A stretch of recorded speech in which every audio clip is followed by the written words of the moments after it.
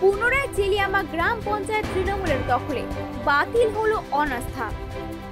সংখ্যাগরিষ্ঠ না দেখাতে পেয়ে বিজেপির ডাকা অনাস্থা বাতিল করল প্রশাসন। গত দু সালে পঞ্চায়েত নির্বাচনে পাড়া বিধানসভা রঘুনাথপুর দু নম্বর ব্লকের অন্তর্গত চেলিয়ামা গ্রাম পঞ্চায়েতে মোট আঠেরোটি আসনের মধ্যে বিজেপি নটি, তৃণমূলের সাতটি, ঝাড়খণ্ড মুক্তি মোর্চা ও সিপিআইএম একটি আসনে জয়ী হয়। বোর্ড গঠনের সময় বিজেপির সদস্যরা উপস্থিত না থাকায় তৃণমূল সাতটির মধ্যে কেবল পাঁচজন সদস্য উপস্থিত হয়ে তৃণমূলের পঞ্চায়েত দখল করে।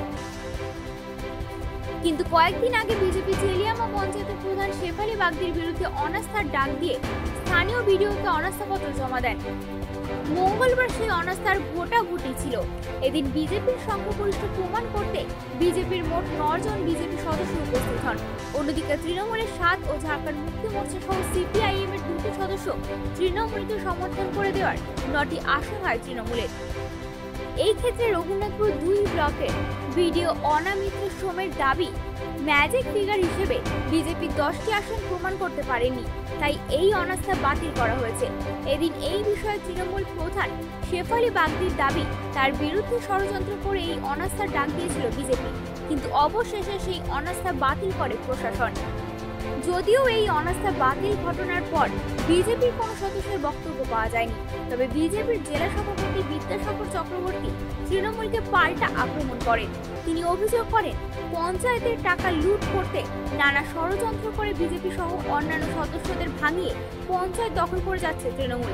এদিন উপস্থিত ছিলেন রঘুনাথপুর বিধানসভার প্রাক্তন বিধায়ক পূর্ণচন্দ্র বাউরি এই বিষয়ে প্রাক্তন বিধায়ক জানান, বিজেপির কিছু লোকের ভুল বোঝানোর কারণে এই অনাস্থার প্রস্তাব আনা হয়েছিল।